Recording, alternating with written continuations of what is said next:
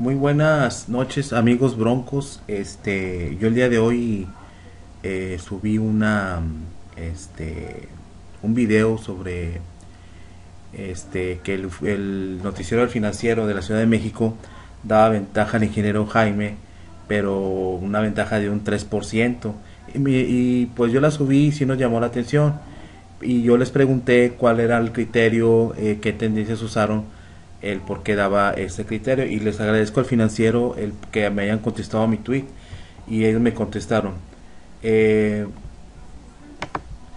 este, preferencia electoral por Nuevo según encuesta del financiero. Este, me contestaron de que eh, aquí, aquí puedes ver la nota metodológica de todas las encuestas que están haciendo eh, de todas las eh, candidaturas en todo el país. Entonces nosotros le, dam- le di, le di clic aquí y acá están las encuestas electorales de todo, de todas las, eh, donde hay en, todo el país, en el Congreso, este, en Gubernatura de Michoacán, y pero lo que nos imp- importa a nosotros y me- eh, es el Estado de Nuevo León. Eh, me llama la atención que eh, eh, al- a- dice preferencia bruta y preferencia efectiva. La preferencia efectiva no contabiliza el porcentaje de ninguno, no sabe y no contesta. Esto la preferencia efectiva es todos los que contestaron por algún partido. Me llama la atención que al, tener los datos dice, este, damos a conocer los datos de la segunda encuesta y nos dice, bueno, 34 Jaime, 32 en eh, esta Ivonne, eh, pero me dice que este aquí ven ah mil personas. O sea son mil personas que hicieron el, cuestionario.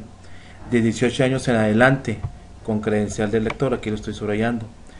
Y llama la atención que solamente eh, de esa encuesta el 25% rechazó, no quiso contestar. Entonces estamos hablando de efectivos 750 personas que desde mi punto de vista pues no se me hace un buen número, pero yo respeto a este canal importante financiero, puesto que es un canal, si ustedes tienen servicio de cable, les recomiendo este canal. Yo, desde mi punto de vista, no, no, no consigo eso. Hay otros medios que usan más este cuestionamientos, más personas, ¿verdad? Y también es del 27 al 31 de mayo. Creo que del grupo Reforma Norte salió hace días, ¿verdad? Entonces, ellos dicen que el ingeniero está 2 a 3 eh, por ciento arriba. Hago este video, no quiero ofender a nadie ni nada, ¿verdad? Yo estoy con el ingeniero Jaime, pero sí quiero ver, yo lo, mi, mi duda era cómo, qué criterio usaron y se los estoy enseñando a ustedes.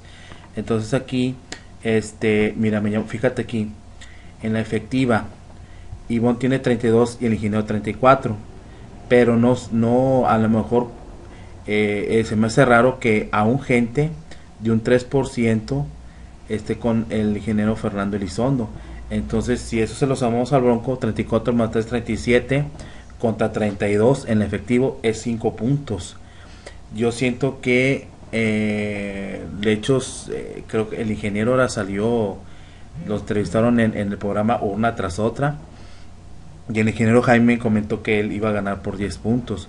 Yo considero, eh, yo estimo a lo que he visto en redes y por las firmas que consiguió eh, y todo eso, yo siento que este el ingeniero va a alcanzar 900 mil votos. Si se hace todo legal, bueno, ese es mi, mi punto de vista.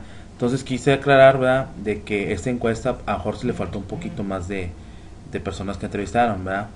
Sí son mil, pero bueno, y como les digo, yo respeto a la gente financiero, es gente muy profesional, pero aquí les dejo esto para que esté claro y esto me da confianza de que eh, no hubo así de, mala leche que hagan hecho, o sea, de que ellos no hubo mala intención de hacer la, hacer la, la, la, la encuesta, no la hubo, fueron muy profesionales, pero nomás esos detallitos de que el, el ingeniero Fernando tiene un 3, que eso se lo damos a dar a, al ingeniero y que obviamente hay que hay que decirle a la raza que iba a votar por Fernando y pues que el voto tiene que ser bronco, ¿verdad?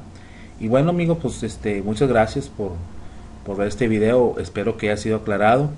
Y raza, este eh, no, no nos, claro, sí nos da coraje todo eso, pero este, vamos a quitar nuestro coraje yendo a las urnas a, votar, ¿verdad? Ahí donde sí nos vamos a, a quitar el bipartidismo. Muchas gracias, que el Señor los bendiga y este, seguimos orando por el ingeniero Jaime Rodríguez, ¿verdad? Para que el Señor le dé sabiduría, le dé gracia. Hubo un rey en Israel, el rey Salomón, que le pidió sabiduría a Dios y en su reinado hubo paz, inclusive países de guerra con Israel como Líbano ayudaron para terminar el, templo en Israel con madera y, otros materiales. Pero bueno, eso es, otro, cantar. Gracias, Raza Bronca. Y hay que echarle más ganas, como dice el, el ingeniero, no nos asoncemos. Hay que echarle ganas.